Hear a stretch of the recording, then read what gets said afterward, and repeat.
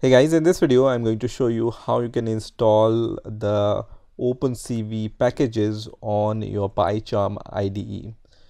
So as you can see I have created a very simple OpenCV project and the main uh, package for OpenCV Python is CV2 and I'm also uh, adding the NumPy package in my code, right? So I want to run this code but it shows me this red squiggly line here and when I run this code it's going to show me this error which says no module name CV2 now in order to install this CV2 package I can just click on file and then click on settings option here.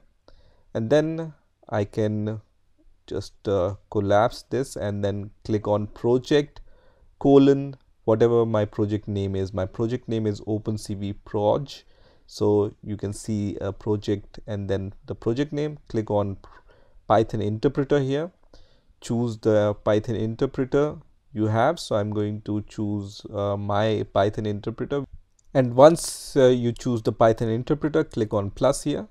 And here just search for opencv hyphen python okay?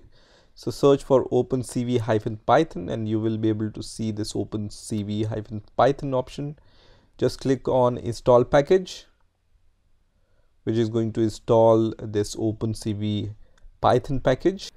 And once this package is installed you can see this message which says package OpenCV Python is successfully installed. So once that's done you can close this window and you will be able to see this OpenCV Python is installed on your PyCharm IDE also it installs NumPy because it has a dependency on numpy so both the packages are installed.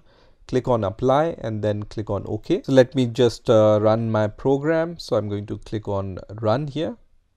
And you can see it opens this image which is using this cv2 package which comes inside the opencv hyphen python package. Okay so this is how you can install opencv on your PyCharm IDE. I hope you enjoyed this video and I will see you in the next video.